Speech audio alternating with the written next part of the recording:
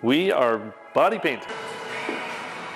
Oh, yeah. Body painting is what we do. Body painting is one of the most amazing art forms I've ever experienced personally. Just been here since 10 a.m. I got to pass out and take a nap on, while getting painted and wake up super colorful. You can't really beat that.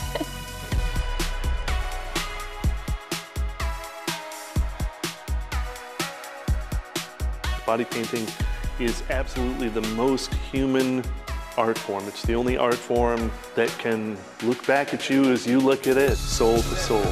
To paint on skin is to put your art on a living, breathing human being who has all of the emotions, all of the, the soul that comes to the forefront.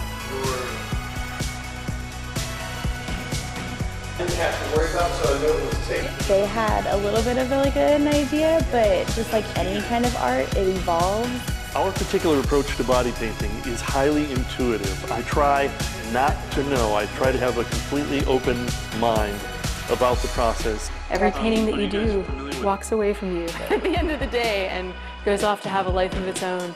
That's pretty amazing.